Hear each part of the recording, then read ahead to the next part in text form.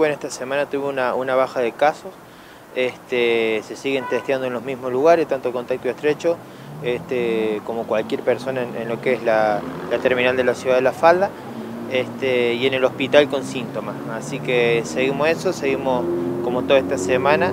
¿Con una tendencia a la baja o por lo menos estabilidad en, cuanto al número de casos? Estas últimas semanas tuvimos una tendencia a la baja, también que veníamos de un par de semanas que tuvimos muchos casos entonces era, previsible. Lo que sí hay que esperar, bueno, después de lo que es Semana Santa y todo eso, porque recordemos que todo este aumento de casos vino después del fin de semana largo, este, bueno, hay que esperar Semana Santa y bueno, aprovecho para decir que a toda la gente que, seguimos en pandemia, para avisarles de que sigan eh, todos los protocolos, porque apenas nos descuidamos, pasa en este aumento de casos. En ese aspecto, ¿se van a tomar algún tipo de medida especial teniendo en cuenta lo que vos dijiste, ¿no? que el fin de semana largo de carnaval fue de alguna manera un, pico disparador?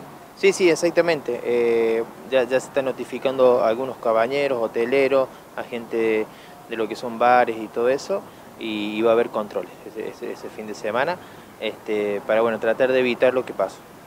Sebastián, en cuanto a vacunas, también hay un temor en Córdoba, bueno, en muchos, muchas ciudades se comentaron que venía la falta de vacunas, de hecho del mismo gobierno de la provincia de Córdoba se anunció que podía haber falta. ¿Cómo está la falta hoy? Sí, mira, al día de hoy nosotros tenemos, eh, nos quedan 70 Sinopram, ¿sí? Este, eh, y Sputnik nos quedaban 10 que se terminaron hoy, pero ahí fueron, nos acaban de avisar que llegan 300 dosis más de Sputnik, ahí fueron a buscarla, así que hoy a la tarde y mañana ya ya empezamos a vacunar con estas 312 a un listado que ya nos mandaron previamente, que ya se van a estar comunicando gente aquí eh, telefónicamente para darle turno y que no pase como la otra vez que, se montonó mucha gente. Entonces estamos esperando ya la gente de, del FUNES me tiene que dar el ok para buscarla y apenas tengamos ya, ya empezamos a... ¿Se sigue vacunando algunos docentes mayores de 70? Sí, ahora, este que viene ahora es para, para más 70, ¿sí?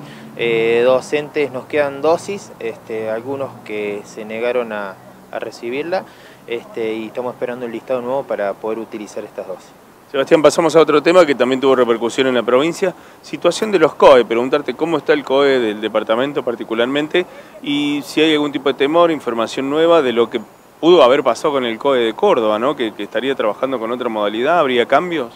A ver, el COE siempre siguió funcionando. Lo que pasa es que a medida de que fueron pasando, fue pasando el tiempo, el COE siempre trabajó en lo que son permisos de circulación, entonces al ir sacándose todo esto, este, fue eh, mucho más tranquilo lo que es el COE. Sigue funcionando, por ejemplo, la capacitación de los docentes la dimos a, a través del COE. Este, ahora el COE empezó a manejar ahora lo que es vacunación y todo lo que viene ahora y se está preparando para la famosa segunda ola.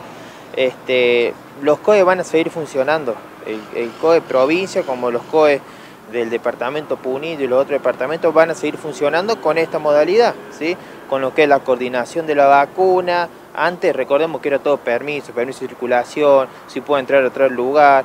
Ahora ya empieza a trabajar con lo que es vacunación este, y, bueno, pero va, pero va a seguir funcionando. ¿Qué podemos decir entonces? ¿Que tiene que ver con adecuaciones, adaptaciones, cambios dentro de la estructura de cada COE? Sí, sí, obvio. va a haber una, reestructuración. Este, yo me pasaron el organigrama la semana pasada, yo, lo tengo más o menos como, como es, pero sí, en realidad el funcionamiento va a ser el mismo, cambian algunas estructuras, eh, pero va más enfocado lo, que es la organización de las vacunas de, todos los centros eh, que hay para vacunar en Punida, por ejemplo, y Córdoba eh, va a regir y, va a tener esa potestad sobre los COE de cada departamento.